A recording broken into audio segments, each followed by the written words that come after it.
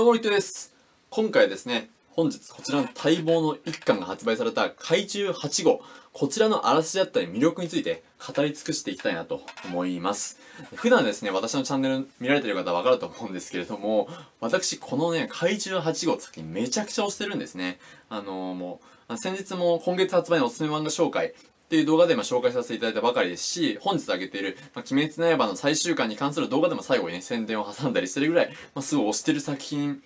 で、まあ、あの、まあ、今回もですね、こうして、ついに1巻がね、本日発売されたということで、話していきたいと思います。でこちらですね、現在、少年ジャンププラス、まあ、週刊少年ジャンプの、まあ、アプリみたいな感じですね。こちらアプリの方で連載中の作品になっています。で、今年の7月3日で連載がスタートですので、まあ、まだ、まあ、連載開始して5ヶ月ぐらいで、まあ、第1巻がようやく発売されたという感じで、です。で、19話まで出ております。で、作者が松本直也先生で、まあ、この作品ですね、私の体感としては本当スパイファミリーと同等がそれ以上だと思っていて、まあ、スパイファミリーっていうのはその現在少年ジャンププラスで連載されてる本当大人気漫画ですね。まあ、一番人気があるのがスパイファミリーで、まあ、今5巻で累計発行物すでに600万も出ていて、まあ、鬼滅の刃とかから比べたらね、まあ、少ないように感じるかもしれないですけども、1巻あたり120万部っていうと、もう本当まあ、例えるならどんぐらいですかね、まあ、配給とかですかね。あの、ジャンプの偉大な作品で言うと配給とか、まあ、そんぐらいのレベルになってくるので、まあ、半端ないですね、5巻で600万部。しかもアニメ化まだされてないですから、まあ、それと同等かそれ以上だと本当思ってるので、まあ、それぐらいのレベルだと思っていただいていいんじゃないかなと思いますね。いや怪獣8号はですね、もう1話からもう衝撃が桁違いで、いや、まあ、いずれはもう本当スパイファミリー抜いてくれるんじゃないかなと思ってます。で、まあ、現在すでに、まあ、少年ジャンプラスの人気ランキングみたいなのがあるんですけれども、1位がスパイファミリー、で、2位が地獄楽っていう作品ですね。それ3位がこの怪獣8号ってもう、すでに連載開始して、まだ5ヶ月ぐらいでもうすでにね、3位に入ってるっていう、もう恐ろしい人気のペース。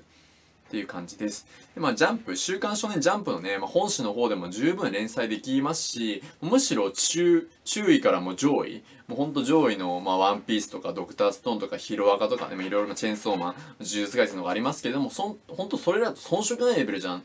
レベルなんじゃないかなというふうに思ってます。でも下手したら看板を狙えるかなと思ってます。まあ、現時点で、ね、19話しか出てない中でめちゃくちゃ泣きましたし、やっぱ1話がね、ほんとすごいなって、1話の出来がもう完璧だからこそ、その世界観にも一気に入り込めるなっていう感じになっています。でまあ、ここからね、僕以外の意見も言っていくんですけども、ジャンプラスですね。ジャンプラスに今コメント欄みたいなのがあって、まあ、よくね、アプリだと、まあ、その漫画のコメント残せる欄があると思うんですけども、そちらにおいてもですね、あの、1話目から怒涛の展開で面白すぎるですとか、ジャンプラスの看板作品になれるですとか、完璧な1話ですとか、超期待できるといった、まあ、1日で3200件を超えるコメントが寄せられて、ツイッターでもトレンド入りしたと。でその後ですね、まあ、最新話を更新するごとに、まあ、ツイッタートレンド入りして、また100万を超える閲閲覧数を記録し続けるなど、少年ジャンプラスの看板作品になっているという、まあ、すでに人気ランキング3位ですからね、凄まじい人気だと。そして先日ですね、まあ、ニュースにもなっていましたけれども、この少年ジャンププラスの方で、史上最速で3000万閲覧数を突破ということで、あスパイファミリーより早いみたいですね。スパイファミリーも多分ありえない勢いでも一瞬で1位になったと思ったんですけれども、もうそれを上回るペースということで、もうすごすぎますね。うん、もう本当10巻ぐらい出れば、スパイファミリーを抜いてるんじゃないかなって。まあ、スパイファミリーもね、どんどん伸びてますから、それを抜い、まあ、ようやく抜くんじゃないかなっていう感じがしますね。いやー、でも本当半端ないなって感じがします。で、ここからですね、そのあらすじ、ね、怪獣8号何が面白いのか、まあ、そういった魅力ですとか、まあ、どんな話だなっていうあらすじについて話していこうかなと思います。で、本当はですね、こちらの裏に書いてあるあらすじ読みたいんですけどね、まあ、あの、アマゾンさんとかでも全部紹介されてるあらすじがあるんですけども、これね、ちょっとなんか微妙だと思ってて、なんでかっていうと、まあ、かなりね、重要なネタバレ、まあ、1話でそれが明かされるんですけども、まあ、1話で明かされるからいいかなって感じもするんですけども、そのね、1話がめちゃくちゃ衝撃的な展開なんですけども、このネタバレがね、含まれちゃってるんで、ちょっとね、あの、せっかく読むのに楽しさが半減するかなと思うので、そのネタバレをね、含まずに、僕はあらすじをね、あの話していこうかなと思います。で、まあ、今今作ですね、この、まあ、怪獣8号っていうのは怪獣のいる世界が舞台となっておりまして、その怪獣を全滅させるために、全滅させようと、まあ、幼馴染の誓い合って戦う、まあ、バトル漫画みたいになっております。で、本作の主人公が日々のカフカって言ってて、まあ、彼は幼馴染のヒロイン、ミナ、アシロミナっていうのがヒロインなんですけども、その彼女と幼少の頃に二人で怪獣を全滅させようって約束したことによって、日本防衛隊っていう、まあ、その怪獣を倒す組織ですね。そちらに入ることを夢見ていたんですけれども、32歳と年齢制限を超えたために夢破れてしまったと。まあ、32歳までが年齢制限で、まあ、その主人公はね、32歳になってもなれなかったんで夢破れてしまった。っていう、まあ、キャラ設定になっていて、まあ、現在は討伐隊が倒した怪獣の死体を処理する怪獣専門清掃業者、モンスタースイーパーの社員として働いています。で、一度はですね、もうその夢、まあその防衛隊員になるっていう夢、まあ怪獣を全滅させようっていう夢をね、まあ年齢制限もあって諦めてしまっていたんですけれども、まあ、様々なことがきっかけとなっていって、あと年齢制限がね、33歳未満という、まあ一切繰り上げられたんですね。まあということで、あのーギリギリまで引き上げられたということで、再び彼の夢である日本防衛隊に入ることを目指すということね。そして怪獣を全滅させるべく奮起するといったストーリーですね。ふうになっています。まあ、ヒロインのね、このアシロミナの二人で怪獣を全滅させるというこの夢を叶えるため、まあ、あの、この防衛隊員になることを夢見て、歩んでいくといったストーリーになっております。まあ、このヒロインであるね、アシロミナっていうのはカフカ、まあその主人公の日々のカフカの幼馴染で日本防衛隊隊員でヒロインとしては珍しい27歳となっております。まあね、主人公もね、32歳、まあ32歳かな、今。でも非常にまあ、結構年齢、まあ珍しく言ってると思う。まあ結構ジャンプの主人公、まあほとんどの少年漫画の主人公っていうのはもう高校生とかね、大学生が多い中で32歳って珍しいんですけども、ヒロインもね、それに合わせて27歳という設定になっております。え隊員としてはね、若いながらもその実力を買われて第3部隊の隊長を務めていて、隊長内での人気も高いここから未来の師団長候補と目されているということで、まあ、めちゃくちゃ強いってことですね。で、まあ、幼少期にその主人公と2人で怪獣を全滅させようと約束したためか、怪獣の討伐に対して他の隊員以上に収録する面があり、部下からも、あなたは怪獣倒すことにしか興味ないでしょ？と言われているということでね。まあ、こんな感じのストーリー。まあ、怪獣で目指せるために戦う。まあ、簡単に言うとそんなストーリーになっていて、まあ、主人公とヒロインは、まあ、幼い頃に、まあ、その、二人で怪獣を全滅させようと誓い合って、それを約束を果たすために頑張っているという感じで、まあ、割とありがちなストーリーなのかなと思います。やっぱね、1話を読むとね、ほんと衝撃度が伝わると思うので、ぜひね、ジャンプラスで、まあ1回目って全部、ジャンプラス無料で読めるので、まあ、ぜひね、1話読んでいただきたいなと思いますね。うん。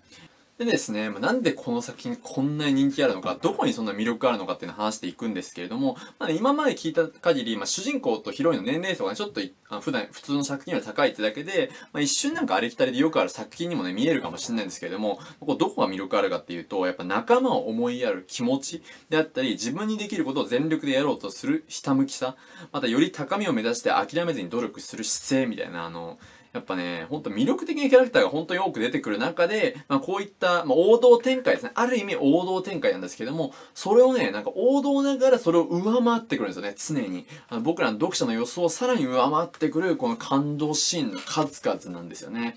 もうそれが本当最高だなというふうに思っております。やっぱね、本当にキャラ立ちがすごいですよね。まあ、主人公とヒロインの年齢が高いって言ったんですけれども、あの、あくまでですね、あの、それ以外のキャラっていうのはもうすごい若いキャラもいくらでもいますし、やっぱその、まあ、それぞれのキャラがね、ほんと主人公を張れるような、うん、そんな魅力を秘めているので、まあ、それがやっぱこの作品のすごい、まあ、魅力というか人気の秘訣なのかなというふうに思ってますね。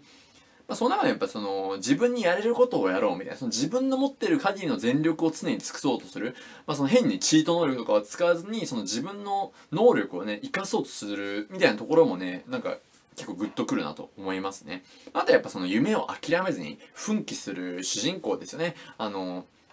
まあ一回はその夢をね、防衛隊員になる怪獣を全滅させるっていう夢を諦めて清掃業者やってたんだけれども、やっぱり幼馴染を隣に立ちたい。あの、まあ、このね、年齢制限上げられて受けられるチャンスがあるんだから受けようと。絶対なってやるぞってね、その姿勢ですよね。うんやっぱこれがね、やっぱ一番の魅力なのかなと思いますね。やっぱ唯一の懸念としてはその何回も言ってるんですけども、主人公とヒロインの年齢層は高めだっていうところなんですけれどもね。うん、やっぱこれでも、なんかこれだからこそ、その、まあ32歳とかなってるからこそ、その再起を目指す、あの若い頃、挑戦したけどうまくいかなかった主人公が再起を目指して頑張っていくっていうその主人公像がかっこよく描かれてますし、やっぱね、この重要な設定なのかなと僕は思ってます。うん。またその、32歳とかそんなに気になるような展開はないですし、それを考えたとしてもね、十分に面白いというか、もう面白すぎますね、むしろ。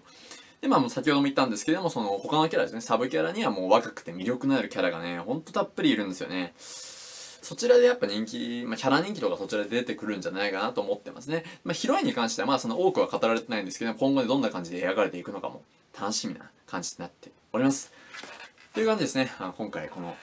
怪獣1号のあらすじと魅力の紹介になりましたいかがだったでしょうか？もうぜひですね、もう店頭に行って買っていただくの少年ジャンプラスで今すぐにでもね、この動画を見た瞬間にでも読めますので、そちらで読んでいただいても、くださってもね、嬉しいです。っていう感じで、今回の動画は以上となります。ここまで見てくださってありがとうございました。ワンションチャンネルでは普段こういった感じで、まあ、おすすめの漫画だったりアニメ紹介してますので、ぜひチャンネル登録だったり高評価していただけると嬉しいです。それでは、さよなら。